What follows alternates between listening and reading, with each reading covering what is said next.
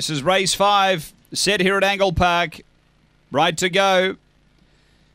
Away, speed here. Nora Bale in the early part, headed off quickly by the favourite Long Gully Robbie, who runs to the lead. Dakota Gray second. Nora Bale back third. Then Iceni uh, Escort a couple away next. Spring Country. Then Super Veloce next to Zipping Looter at Hardaway Altivia up to the bend.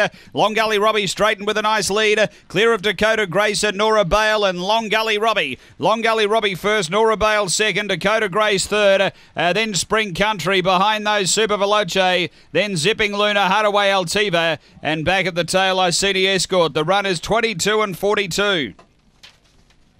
After the running of race five, numbers are six, three, eight, and five. Long Gully Robbie, Paula Herndon, the owner trainer.